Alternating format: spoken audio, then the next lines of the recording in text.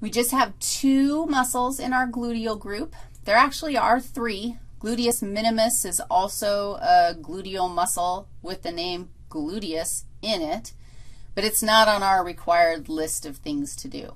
We've got plenty.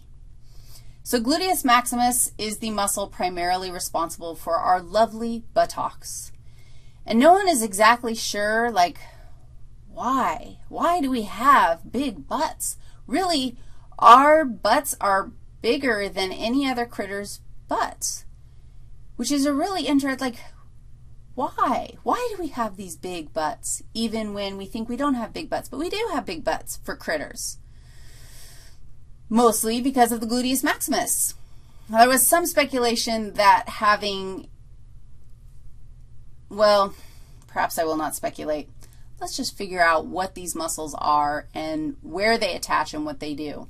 Let's go look at a picture first. If you take a look at gluteus maximus, it's the most superficial muscle. It's very large. It attaches to the posterior aspect of the iliac spine.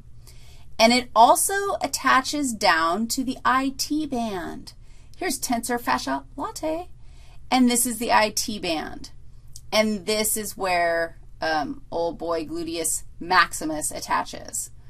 Now, if we um, peel off gluteus maximus, peel it away, you can see gluteus medius, which is also attached to the iliac spine, or the iliac crest let's see, yeah, the iliac crest. That's where the gluteus maximus is attached also. I think I said, whatever I said, I think I said iliac spine, but I meant crest. Rewind, rewind, crest. And then gluteus medius, I think is the only one that we're learning right now that also attaches to the greater trochanter. So it's going to come across to the femur and attach to the greater trochanter. Because of where it attaches to the greater trochanter, it actually does some medial rotation. Gluteus maximus does lateral rotation. So let's go um, compile this knowledge.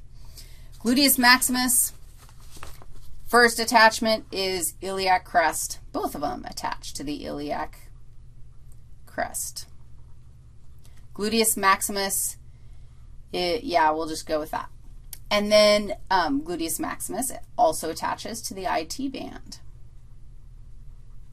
And gluteus medius attaches to the greater trochanter.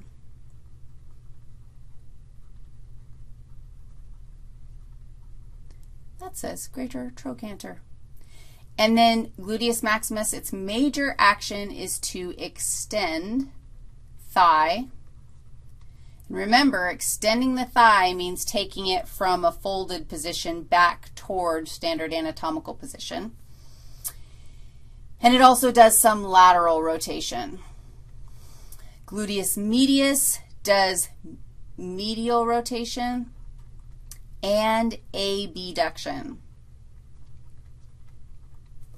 And that has to do with where it attaches. Because it attaches to the place that it attaches on the greater trochanter, it does this medial rotation thing.